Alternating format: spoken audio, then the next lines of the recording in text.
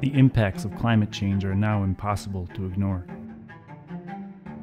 But are there places that are immune, or that climate change might even make nicer? Some experts say one of those places could be Duluth, Minnesota. But what's so special about this small Midwestern city? And is it in fact climate proof? The key to Duluth's climate resilience is also the thing that makes it a very cold place Lake Superior.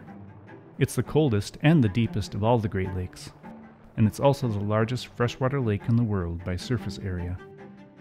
And that surface area is what's really super impactful to weather. And so when we think about just the mass quantity of water, the mass quantity of space that it takes up, it's just on a completely different scale. And because of that, it has that much larger of an influence. One of the biggest impacts that it's going to have is on temperature. Here in the summer, Lake Superior acts like a big air conditioner, essentially. I think anybody who's been to Duluth in the in the summer is used to the idea that you might have some really glorious days and then the next day is really chilly. And it's simply because we have this big reservoir of cold sitting right there. And if the wind comes off the lake, you're going to be experiencing some of that cold. The reason that that's interesting is because the lake tends to lag. Even though summer conditions have reached us, the lake might not have reached summer yet. And that is largely due to the heat capacity of water versus air. And a way to think about heat capacity is kind of as memory. So air has a shorter term memory or a smaller heat capacity, and it can warm up pretty quick and can cool down pretty quick. Versus water, it takes longer to warm up as well as to cool down.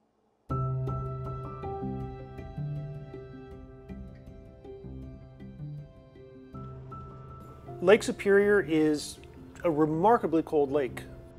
First of all, it's actually a lot further north and sits in a much colder climate than the other Great Lakes. The other really important aspect is that it's just really deep. As a counterexample, Lake Erie is also a large lake, but relatively shallow compared to Lake Superior, almost 10 times shallower, or one-tenth as deep. In that case, the water temperatures basically keep up with air temperatures and you don't end up with those super cold winds blowing off of Erie in the middle of July or something like that. But even though Lake Superior makes Duluth more resilient as global temperature changes, it isn't immune to the effects. The proof is in the data. What we see are trends towards warmer summers. The lakes are four to five degrees Fahrenheit warmer now in the summer than they were 40 years ago.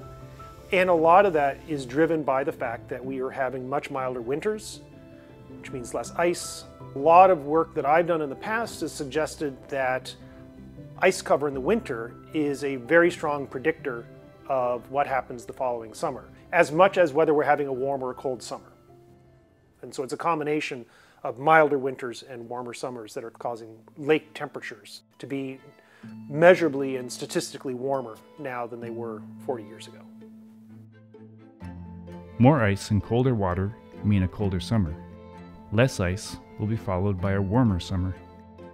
Lake Superior is one of the fastest warming lakes on Earth. We continue to see a decline in ice cover every single year with fairly large variations, but still a decline overall. And those have huge ramifications, warming us up, warming the lakes up as well, and how that influences the whole hydrometeorological cycle that we have come to depend on.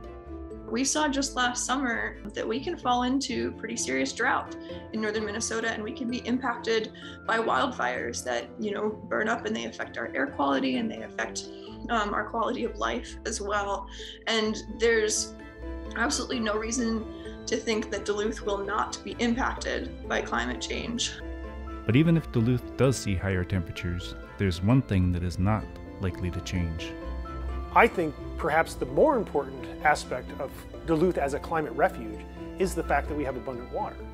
We're sitting on 10% of the world's fresh water right here. Water scarcity is not the same kind of issue here as it is in, for instance, the American Southwest.